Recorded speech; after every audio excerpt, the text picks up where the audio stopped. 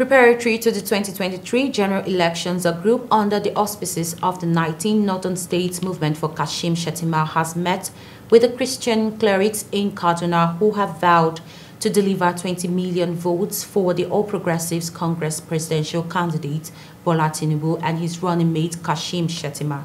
The Christian clerics drawn from the 19th Northern States converged in Kaduna to interface with them in delivered a letter of their expectation if the duo emerged the winner.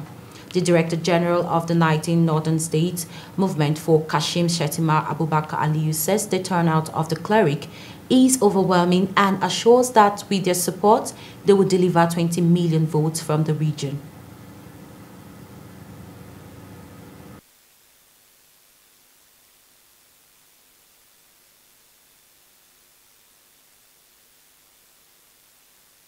Going to give Bola Asiwaju Ahmed Tinubu 16 million votes.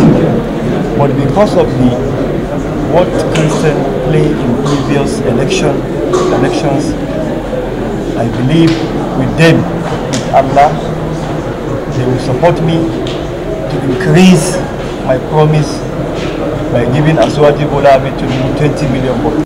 We therefore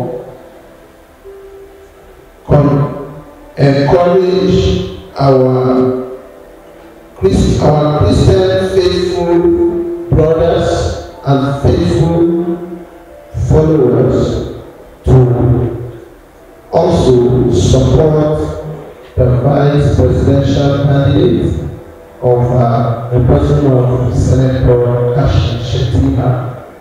It is to help us have a direction. Should the APC wins election, what is the position of the church? What is the church stand to benefit? And what will Shettima help the church in the north? How will he come into our challenges? These are the reasons.